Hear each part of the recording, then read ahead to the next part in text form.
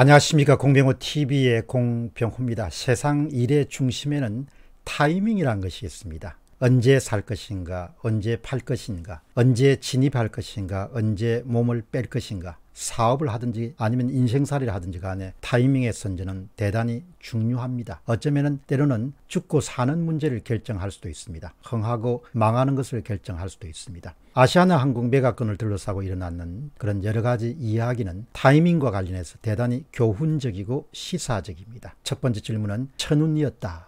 코로나19 이전과 이후의 경영 환경은 180도 바뀌었다. 이렇게 표현하더라도 조금도 과하지 않습니다. 현대산업개발 HDC는 간발의 차이로 최악의 상황을 피하게 됐습니다. 정말 천운입니다. 코로나19 이후에 항공업이란 것은 빛이 빠진 독에 물붓기에 해당할 정도로 그야말로 엉망진창입니다. 인수기업도 경영위기를 겪고 최악의 상황을 맞이할 수 있는 절체절명의 위기 상황입니다. 아마도 현대 산업개발이 예정된 일정에 따라서 조금 일찍부터 아시아나 항공 매입에 대한 본 계약을 맺었다면 현대 산업개발도 대단히 큰 위기에 봉착하지 않을 수 없었을 것으로 봅니다. 이런 점에서 보면은 사업이든 인생이든 운이 따라줘야 되고 한때 결정을 내렸다 하더라도 이것이 아니다 라고 판단하면 신속히 몸을 빼는 것도 지혜라면 지혜일 수 있겠습니다. 물론 누구에게나 미련이라는 것이 있게 마련입니다. 이게 아니다라고 판단하면 과감히 털고 세기를 가는 것이 지혜라고 볼 수 있겠습니다. 다음 질문은 산업은행과 현대산업개발 HDC입니다. 채무자인 산업은행 입장에서는 누구에게라도 얼른 빨리 제값을 받고 팔아넘기는 것입니다.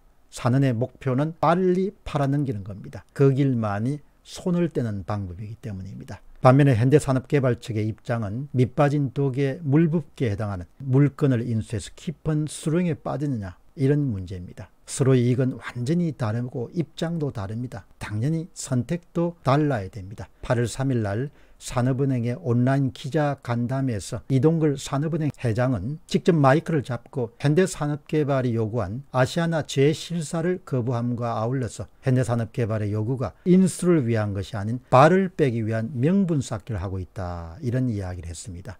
그런 뜬금없이 미국 기업사에서 2차 세계대전 이후에 유통업계의 당시에 쌍벽이었던 몽고메리와 그 다음에 시얼스의 대결 사례를 소개했습니다. 몽고메리는 투자에 소극적이었고 시얼스는 거의 파격적으로 확장 전략을 폈습니다. 결국 몽고메리 워드는 2000년 12월에 파산하고 말았습니다. 이런 예화에서 이동걸 회장이 전하고 싶었던 메시지는 정몽규 현대산업개발 회장이 회사가 성장할 타이밍을 놓치는 결정을 하고 있다. 이런 메시지를 전하고 싶었을 것입니다. 그러나 분명한 한 가지 사실은 이동걸 산업은행 회장은 그 자리를 떠나면 그만입니다. 그냥 재임하고 있는 동안 일은 모두 다 책임으로부터 면하게 됩니다. 그러나 오너, 소유자는 모든 것을 책임져야 하는 것입니다. 오너는 자신이 처음 인수를 결정했던 시점에서의 경영 환경과 계약을 체결하는 시점에서의 경영 환경이 180도 바뀌었는데 어떻게 옛날 조건으로 기업을 인수하겠습니까? 그리고 제 실사 없이 또 어떻게 인수하겠습니까? 만일 누군가 저에게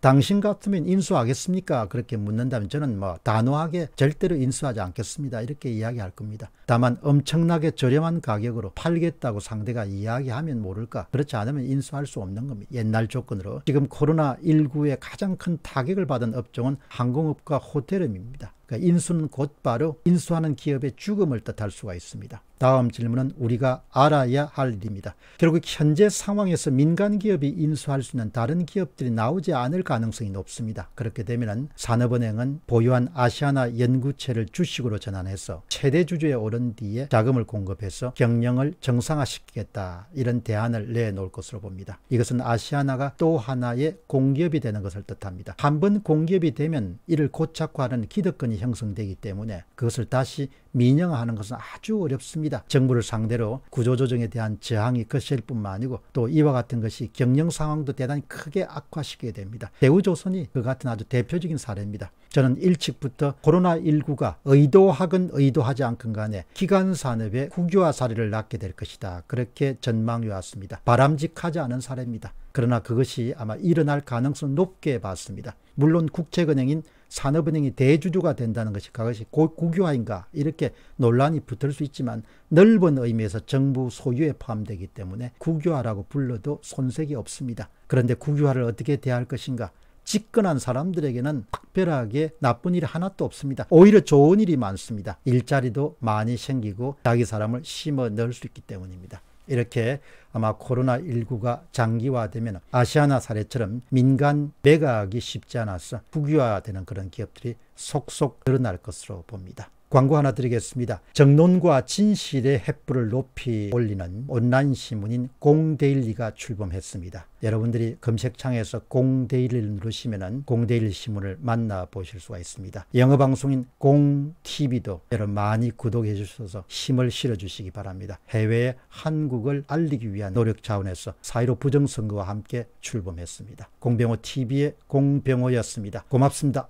멤버십 후원자들을 위한 질문 코너를 진행하도록 하겠습니다. 오늘 댓글을 남겨주신 분은 8월 4일 날 방송되었던 무지한 정치인들 세입자의 눈물이라는 방송을 보시고 이영란 님이 글을 남겼습니다. 임차인, 임대인 양쪽 다 불편한 것은 또 불이익을 주는 법을 만들었습니다. 자기들은 집을 몇 채씩 가지고 있었기 때문에 이사 다닐 걱정도 없고 전세나 월세가 올라갈 걱정이 없으니 무엇이 문제 있겠습니까? 사실 이번에 임대차 3법은 임차인과 임대인을 모두 불편하게 하고 또 불이익을 줄 수 있고 또 시장에서 많은 부작용을 일으킬 수 있는 그런 법안들입니다. 저는 가장 큰 문제는 전세 시장에 대한 규제가 강화되고 또 전세의 물량이 줄어들고 또 월세로의 전환이 이루어지면서 현재 임차인들의 주거비 부담이 굉장히 커질 수 있는 그 부분에 가장 큰 우려를 하게 됩니다. 또한 일가구 다주택자들에 대한 중과세도 그런 임대 사업 자 같은 경우는 서민들이 많기 때문에 그분들의 또 피해도 큽니다.